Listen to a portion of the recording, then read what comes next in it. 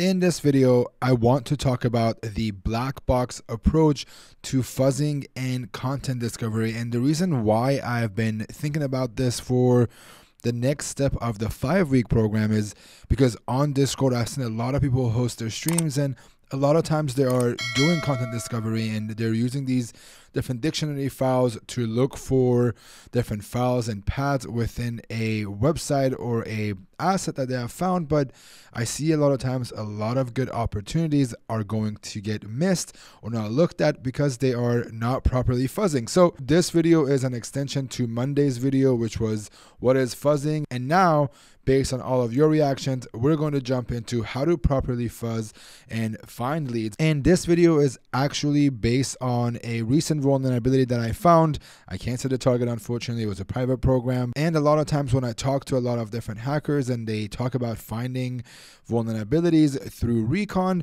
it's something similar to what I'm going to show you in this video. So let's jump into it really quickly and take a look at what is it like to properly fuzz for files, and paths.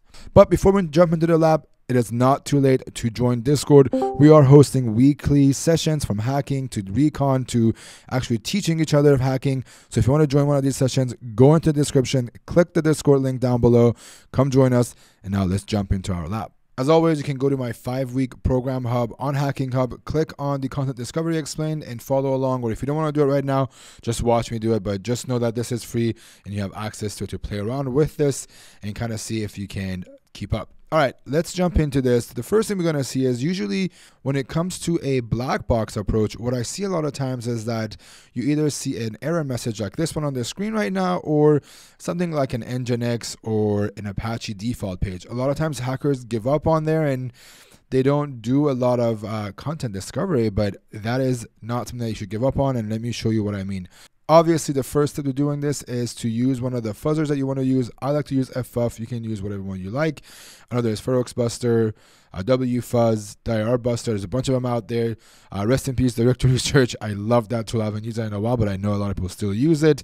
Uh, that is all personal preference, but I'm going to use FFuff for this one, and we're going to run it to this all.txt. And if you don't have your own word list, you can go to Seclist on GitHub, or you can go to Asset Notes word list page and download one of theirs. This one that I'm using is kind of similar to uh, what's on Seclist, and you can see right off the bat, it's found something like log and data. Usually what you can do is you can do a recursion here and have it just recursively look for files and vulnerabilities within each of those folders. So once it files data, it's going to queue it and then same thing with log and it's going to look for vulnerabilities within them or files actually within them. But in this case, I see logs and a lot of times I see people don't really look at logs or they're not really contextualizing it. So for this case though, we're going to take a look at logs and I want to show you how I approach it when it comes down to backup logs and kind of contextualizing what you're looking at on the screen. So what we want to do next is I'm actually going to show you a file that I have on here.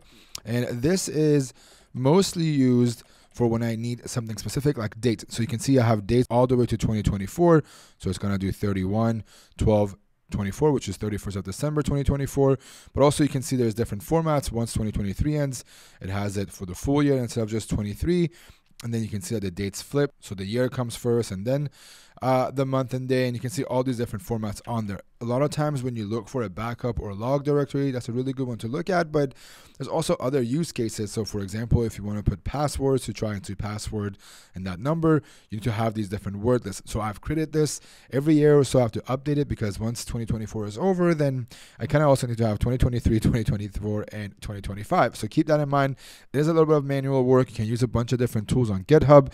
I can actually look for date generators on GitHub and and they will give you something like this that I have and you can just play around with it and create it. But now we're going to feed that word list to our same tool. So what I'm going to do here is I'm going to actually grab the URL for this and we're going to do a fuzz for the log directory and we're going to say, hey, I want you to look for maybe something like logs, log, and then we can add the word fuzz here, which means that every time it looks for the word log, it's going to attach whatever is in dates. So it's going to start with our first date all the way through and add it there. What I like to do with just log specifically is I like to put the word log in there and see if anything finds. Sometimes there isn't a dash, and sometimes you just don't even have to put the word log in there. But before we send that out, let's quickly make sure we do some filtering, and we also add a match for response code that only comes back as 200. So if you're not familiar with response codes, look at it. I don't want to look for anything for 401, 403, or even 404.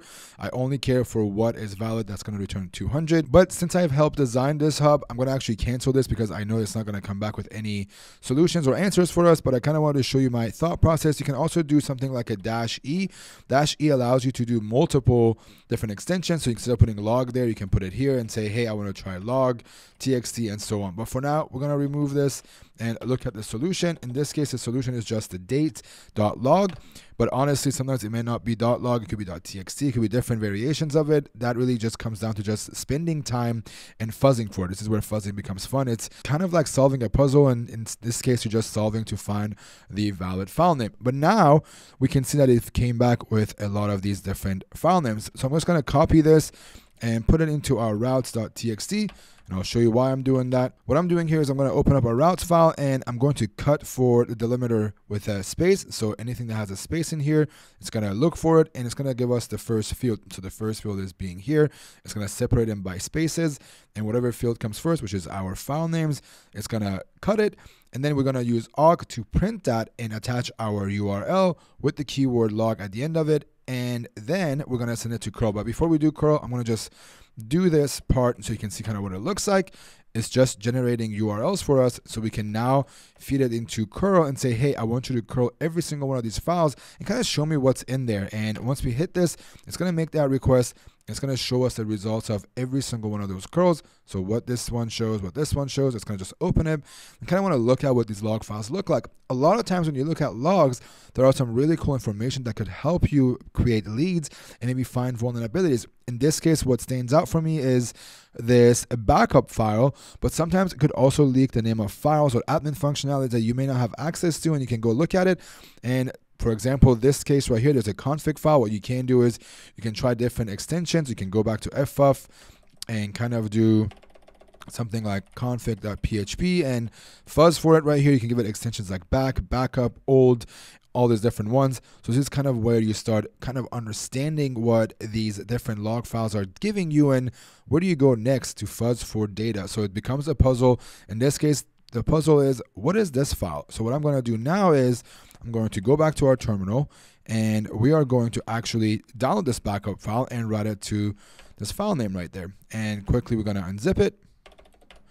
And once it is unzipped, this is the source code for this exact application. So many times I've had the ability to either find a .git folder in SVN or even just go on GitHub and find the source code of a particular application based on an error name or some kind of a lead. A lot of times that could be even a README file that just points me to a GitHub page and then you have access to the entire source code. I know that source code review isn't the easiest thing to do for a lot of people, including myself, but a lot of times it's very, very obvious. If I go actually into this admin function, let's take a look we can see that one, this is an admin functionality. Sometimes I don't even have authentication in front of them. Trust me, it has happened way more than you can think of. And if you can't understand something, in this case, I'm going to start with the preview file because that's what a vulnerability is. Again, I've designed this. And you can copy this and kind of ask ChatGPT. In this case, I'm using LLM. I'm just giving it the code from our file, and it's going to come back and say, hey, there is actually a load remote file parameter in there, which you can see right here that reaches a file, attaches this path right here and gives you the content of that file. So in this case, it's actually identifying this. You can also ask it, how do I exploit it? So we can go, how do I exploit it? It may not give us the answer because, oh, actually it does work. There we go. I thought it's gonna not give us the answer because it wants to say ethical, but so if we actually grab that right here, we're gonna go back to curl and we're going to actually make a curl request to that. We're gonna go to admin functions preview.php, I think is what it was called, preview.php. And this was what they gave us. And if we send that, let's do that one more time. You can see that it comes back and gives us access to these files, which is the etc password file on this box. And honestly, it's probably one of the cooler and more fun bugs that I found. It looks a lot easier watching from the outside because I spent hours of time figuring out these different pieces from the dates to the backup and then looking at the source. The source wasn't as easy as this, but honestly, I think with how many resources are out there, especially with ChatGPT being there, it is easier to find vulnerabilities if you have access to the source code itself. All right, that's it. Let me know what you think. If you haven't already, hit that subscribe button, and I will see you all in next week's video. Peace.